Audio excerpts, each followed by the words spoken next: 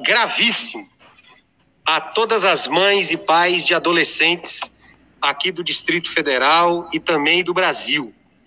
Existe é, uma atuação de um perfil na rede social Facebook de uma pessoa que se identifica como Jonathan Galindo e ele é mais conhecido como Homem Pateta e tem induzido as crianças ao suicídio, conforme alerta encaminhado pela Polícia Civil de Santa Catarina e inclusive também pela Polícia Civil aqui do Distrito Federal. Esse perfil, ele faz o desafio para que o interessado envie uma mensagem privada e em resposta passa a enviar vídeos, textos e áudios e até fazer ligações por vídeo ao vivo.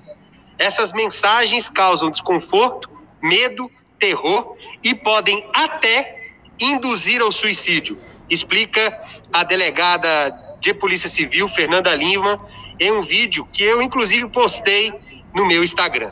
Quero aqui é, informar: é, é importante que os pais e as mães fiquem atentos à atuação desse tipo de pessoas, principalmente de pedófilos e desse tipo de atuação que tem incentivado o suicídio de crianças e adolescentes.